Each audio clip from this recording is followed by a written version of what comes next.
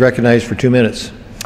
Uh, Thank you, Mr. Speaker, and thank you to the gentlelady from Arizona. I rise uh, to support the motion to instruct conferees, and I grew up in a military home. I personally understand the sacrifices our service members and their families make in service to our nation.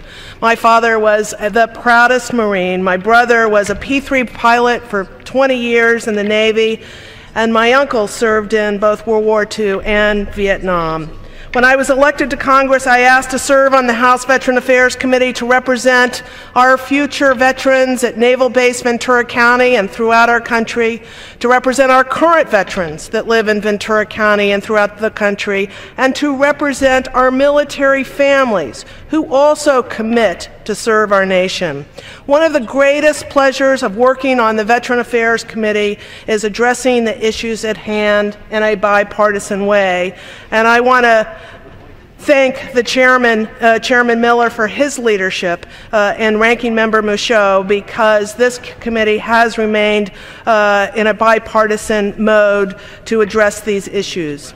Every week we discuss innovative ways to improve access to good paying jobs, how to strengthen education opportunities for our veterans, to reduce wait times for critical and fundamental health care, and much, much more. I was deeply honored when my colleagues elected me to serve as the ranking member of the Subcommittee on Health to ensure our veterans' health needs are properly addressed, including improving access to traditional and mental health care. As my colleagues know, there is a lot of improvement that needs to take place at the VA. We have a sacred responsibility to those who serve our country in uniform.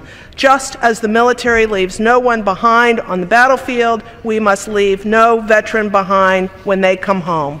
The motion to instruct is the best path to completing a conference agreement to fix the long term problems at the VA. Let's ensure we are serving our veterans as well as they have served us.